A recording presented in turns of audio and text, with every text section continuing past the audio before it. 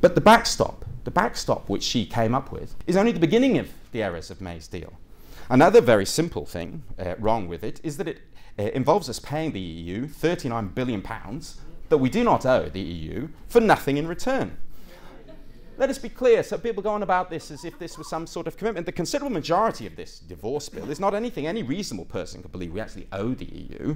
A large block, a bit less than 20 billion euros, is the UK's membership contribution for the year 2019 from April to December, so after we leave at the end of March, and for the year 2020. So to the end of the EU's current uh, multi-annual financial framework, MFF, structure which ends at the end of 2020. But if we're not in, uh, in this transition, as she calls it, there's no reason for us to pay this money. It's not anything that we intrinsically owe. We're permitted to leave the EU. There's nothing in the, any of the EU's rules that say the only time you're allowed to leave is at the end of a multi-annual financial framework structure. You're only allowed to leave every five years. So we don't owe the EU a membership fee for a period of which we aren't members.